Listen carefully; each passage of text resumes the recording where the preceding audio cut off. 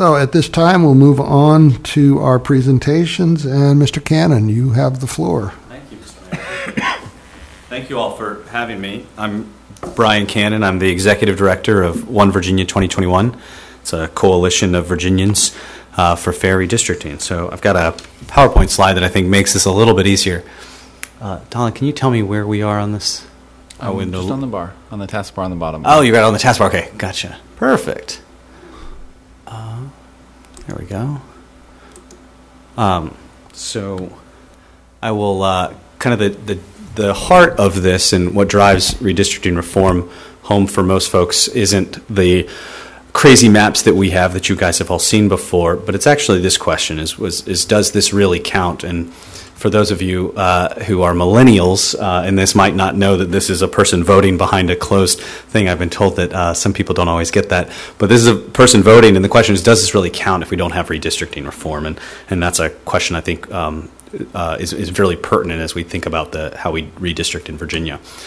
Um, I want to talk about a, a word fair for a second before we start out because our title has the word fair in it. It's fair redistricting. And I occasionally get asked by folks, um, is the word fair trying to benefit somebody? And we, we uh, which sounds an, an, antithetical, but nonetheless is, is, a, is a question because some people use it as a word to like, you know, advantage one group or another. We are not. We are as multi-partisan as you can imagine. Every day I spoke, speak to folks on the far right, far, far left, and then everybody in the middle, uh, and, and plenty of them who just could care less about a party and just want government to work. And so when we say fair, we mean fair to the citizens of Virginia. We don't have an agenda. We don't even have a, uh, a desired uh, outcome for any party or another. We've got uh, just having a fair process and kind of let the chips fall where they may. So when we say fair, that's that's in, important to note. Um, but I'm going to start with the kind of the problem of, of redistricting uh, and how we do it now. Uh, the current way Virginia does redistricting is just a bill through the General Assembly. It's as political as any other bill, a tax hike, a tax cut, a uh, Medicare expansion, Medicare not expansion.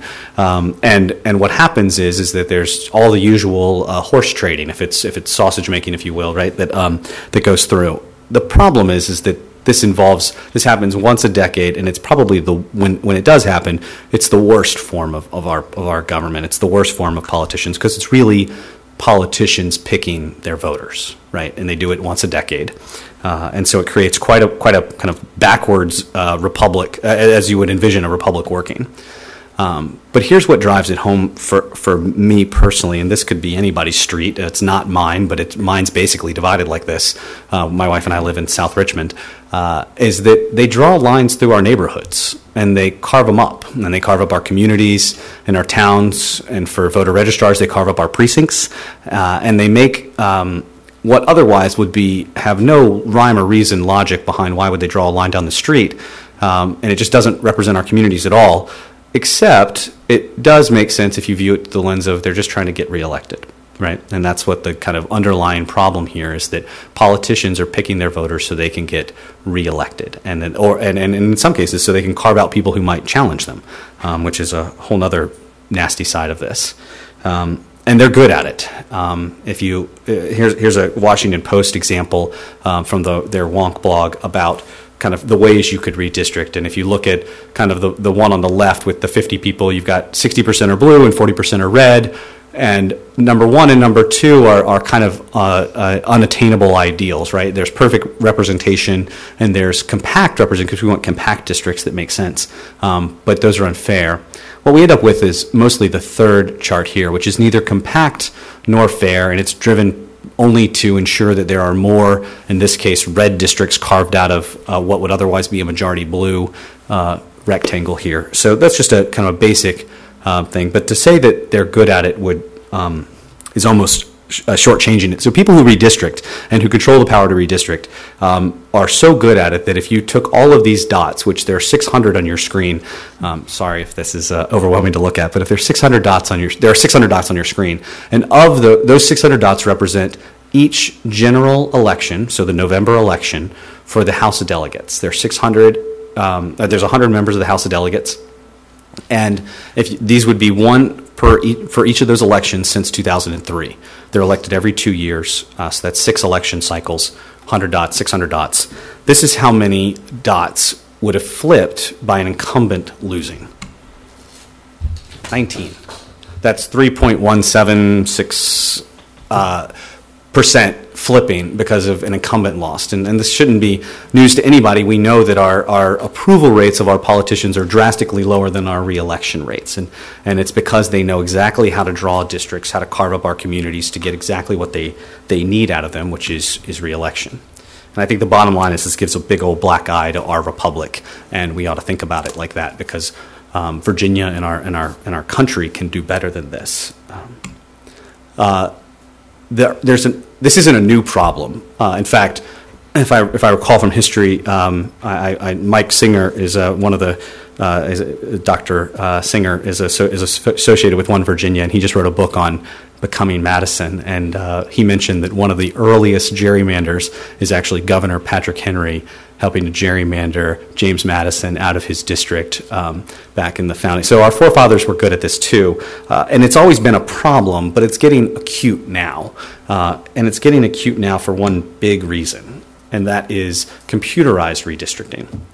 Uh, there was a recent Daily Show episode where they talked about redistricting uh, and the kind of shenanigans that go along with gerrymandering, and they interviewed a, a consultant who goes around the country and, and draws up districts, kind of the, the partisan gerrymandering guy.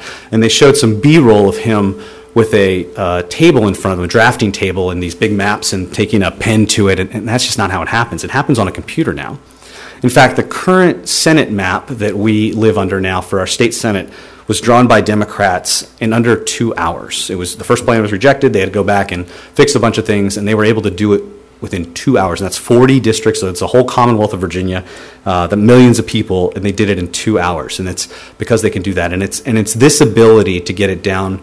Uh, not just to carve up our communities, but when they do it, to be able to know that this is a 52.4 percent Democratic district, or this is a 61.8% Republican district, and to know exactly how safe their members are or are not in those districts. And that's what the, the, the real problem is. It also allows them to do things like carve out individuals who are going to run against others, right? So one, one incumbent politician view, is worried that somebody in that neighborhood uh, is going to run against him. Well, he can ask for that to, that particular street to be carved out. And I would love to say that that's just something that rarely happens, but unfortunately, the more I go around talking to folks about this, the more I hear staffers coming up to me saying, "You won't believe what happened," right? This blah blah blah. So it's it's a regular horse trading. It's it's it's perverse to democracy. Uh, the natural inclination for people to say is, well, who's responsible for this? And, and I don't want to neglect that because these are, um, when I tell the story, these are um, uh, two of the biggest um, obstacles in redistricting reform.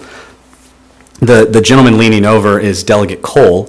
Um, he represents part of Fredericksburg and, and Stafford. Um, and then the gentleman to his right is the Speaker. Uh, so, so uh, the Speaker of the House. These are both folks that are opposed to this.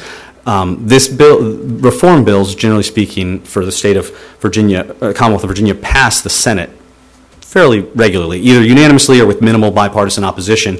Um, but they, even Republican-sponsored bills get shut down in a very small subcommittee of the Privileges and Elections Committee. And it's, it's a subcommittee that uh, Chairman Cole serves on, and Chairman Cole also appoints all the members because he's the chair of the Privileges and Elections Committee. So he's a large part responsible for reform. I've had a number of Republicans tell me that if we got this issue to the floor of the House and had a straight up or down vote, it'd pass because generally speaking, there aren't a lot of people that stand up and say, I'm really pro gerrymandering. It's a small group, uh, and it mostly involves elected people there. It's a unicorn to find an average citizen who says, I really love the way politicians pick their voters every 10 years. Um, but I'd be remiss if I just made this a Republican issue because the, uh, there are two gentlemen in the other side of the chamber who are equally opposed to redistricting reform. And these are both, uh, but the first, by the way, were Republicans. I'm sure most of you all know that. These two gentlemen are Democrats, and, and that's uh, Dick Saslaw. He's the leader of the Democratic now minority in the Senate, and then George Barker uh, um, on the right there, and he is a, a, a, a, senator from Fairfax, both from the Fairfax area, and they, uh, you know, stood up and opposed our bills. Um, they voted for a few of them that are the more kind of generic uh, bills, but they've opposed both of our bills. So we've got the, we've got people on both sides of the aisle that that uh, that support us and, and more often than not support us, but we do have opposition on both sides. Um, so I, I, don't want to leave you guys with the thought that this is just uh, the Speaker and, and, Chairman Cole being. Um, the good news is that these folks were in the minority in the Senate and they were outvoted. Um, on our our worst bill was uh, was 27 to 12, right? And so we have uh, a strong bipartisan majority in favor of that, and many of our bills passed unanimously. Um, I liken it to this: is that you get a, if you think about Lord of the Rings for a second, if you'll indulge me, is that you have a nice hobbit, and if you know anything about Lord of the Rings, these hobbits are excellent, wonderful people that have multiple breakfasts and multiple lunch and multiple dinners, and they're just kind and generous. And then there's this ring, this powerful, all-powerful ring that they can put on their hand, and they can do so much with this. And you get it, and what happens when you get a hold of it for too long is you turn into Gollum. And that's what happens to these otherwise good politicians who are out there trying to serve as they get the uh, power and the taste of it uh, of redistricting reform. And it is all powerful, as I showed you. They can pretty much predict who wins in the general elections, uh, and they turn into to Gollum here, which is unfortunate because even the best of our politicians can be susceptible to it. Um, but I don't want to leave Gollum up there on the slide for too long, and it's more important we talk about the solution. Uh, so uh, fixing this is is what we're here for. And I'll say that the solution is a lot easier. The solution is a independent uh, independent commission with a nonpartisan criteria. It's not complex. The idea is first off with the independent commission, get it out of the hands of the General Assembly. They can't do it. It's a it's an inherent conflict of interest. If they were attorneys representing their clients before a court, they would be prohibited from doing kind of that kind of rule setting and, and line drawing. Um, and they've and they and even if some of them say, well, the Constitution requires that we do it or something, there's plenty of other states that have done it better. Um, there are ways to to to to uh, give them some sort of final approval. But if you can take the origin of the line drawing and have it not be with the guy who then has to run in that district in November, we'd be better off. Um, and if, and if they want to think that, well, that's just our job and we don't want to give it to an unelected body and, you know, we're better able to, we're, we're more accountable to our uh, constituents if you let us draw the lines. And I would just point you back to that 600 dot slide is that they're not very accountable to their constituents because they pick them. Uh, so they can pick whichever ones they want. Um, so, uh, an independent commission would be would be a, a huge leap forward in this, um, but that's not enough because I think you also have to give the independent commission some basic nonpartisan criteria. Um, most of this I'll talk about for a second is jurisprudence handed down from the courts when they look at redistricting and they kind of give general ideas of what would be a good thing to do. Things like respecting jurisdictional boundaries, right? Uh, respecting communities of interest, neighborhoods, precincts, and uh, racial and ethnic minorities. There's also the Voting Rights Act. But the most important thing we could do for, to give this commission criteria would be to tell them to not use something specifically. Not only do we proactively prescribe things, but to not use political data when you do this. It's specifically, we don't want you to know when you're drawing the district, is it 53.8% Democrat? That's not fair. That doesn't serve any legit government purpose. It only serves an incumbent protection program, and that's not, not a valid concern of our citizens. Now, people are generally going to know that. I'm from Richmond. Generally, Richmond's a Democratic um, stronghold. Uh, that's fine. If you're from if you're from Powhatan, that's generally a Republican stronghold. That's fine. So you're going to know, generally speaking, what kind of person. But you're not going to be able to know exactly how safe that district is. Is it a 49 or a 52? You might not know, and that will be okay. Um, a, a, valid question would be, can we prohibit them from using that? And, and the answer is we can do it statutorily. We can put this in the Constitution. Um, but I've done this as the League of Women Voters and some other partners in 2011 held a redistricting competition across the state where colleges and law schools, I was in law school at the time, uh, participated and actually drew districts. They gave us the software to draw the districts. And it's simpler than you'd think because all you have to do is not check the box that says political data and it won't populate as you draw on your computer the political data. It'll populate other things you might need, but, but not political data, and so you can just gray that box out and not allow the, the, the, the folks drawing the lines to do it. Now, will people second guess it? Will people look over your shoulder and figure it out? Probably. But if we can avo- if we can get this independent commission to do this fairly, we'll be in better shape. Um, when we talk about redistricting reform, there's a couple things that if, if you guys are, are, are so amenable to, to be advocates for us going forward, I, I, think this is the best way to talk about it. First is the conflict of interest. It's, it's inherent conflict of interest for politicians to draw their own voter maps and to pick their own voters. Uh, most people, by the way, when you say gerrymandering or redistricting reform, don't know what you're talking about and, and don't get it. So the key to get people to care about it is to talk about the conflict of interest that this involves. Um, and the second part is that politicians are manipulating elections. And I, I've thought of many a times about a better way to sugarcoat that and say it differently, but there really isn't. I mean, they, they are changing the outcomes of elections um, by uh, picking their voters and carving up our neighborhoods. There's really kind of only two ways about it. And then plenty of people think that, that just, there's, if only there were enough moderates, they would solve this, this, this problem, um, or if only there were enough Democrats, or if only there were enough moderate Republicans, or whatever, this problem would go away. And that's simply not true. Um, in fact, the Tea Party is a huge supporter of this. Ken Cuccinelli is one of the biggest ref, uh, redistricting reform experts I know. And some people said, well, Brian, what's he trying to do? And he's just trying to draw fair lines. And same thing on the, on the left, we've got uh, plenty of great supporters um, uh, from, from uh, Louise Lucas, sponsored one of our key bills this year. So we've got a, a great swath of, of folks that are uh, in favor of this. It's a bi, they recognize it's a bipartisan problem, and it does have a bipartisan solution. And the last kind of talking point in this is people say, well, you can't design competitive districts. We're not talking about that. Not every place in the Commonwealth will be competitive. And that's okay because the, not every place in the Commonwealth should have that if the people get their say drawn up in a fair way. Um, some districts will be competitive. I think arguably more will be competitive than are now, but um, which is hard to go any place but up because there aren't very many competitive districts anymore. But uh, if we do this right, we'll have some non-competitive districts and we'll have some competitive districts, and it'll just be more a result of the fair redistricting criteria than it will be of any uh, intentional design to draw it competitively or not competitively. Um, a lot of folks talk to me about this. Is this a long shot? And it is. It's totally a long shot. Getting those nice hobbits to give up their ring is is tough. Um, but I don't think it is historically when you think about it. We're not the longest shot in voting rights that there's been, right? In fact, we're far from it. And I feel like if, if the, the, the ghost of these movements past could talk to us about our redistricting reform movement, they would say, You guys got this. You can do it. It'll happen. It's going to happen. You just got to keep up. Um, and a lot of and these folks fought, fought for a lot harder than uh, than our organization's been around, and that our predecessor organizations have been around to get the right uh, to vote and the right to have it have it mean something when they do vote. Um, so here's our ask for everybody, um, which is tell your your representatives in Richmond, um, sign the petition, donate. If you sign the petition on, on our on our website, it automatically sends a, a letter saying an email saying you support that to your local senator and delegate. Um, any social media love, you guys, if you're Facebook, Twitter, we'd love the, the help.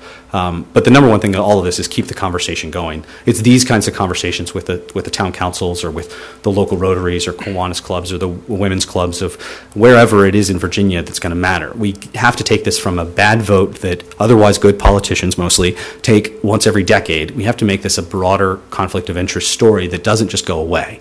Um, so we appreciate your help in that. We would love for the the town council here to uh, adopt a resolution in support of redistricting reform with an independent commission and with nonpartisan criteria. Um, we would certainly appreciate that, and any kind of help or advocacy you guys want to do, we would love to empower that. Um, so, with that, I'll just say uh, thank you all very much. I'm happy to take questions, but I know I've taken up a lot of your time, and I'm very grateful for it. So, thank you. Thank you. Questions for Mr. Cannon? Easy enough. Okay, well, thank you again, and I'm sure members of council will continue the discussion, and if it's the will of council to get a resolution, we'll, we'll do that. Thank you, Mr. Mayor. Thank you again.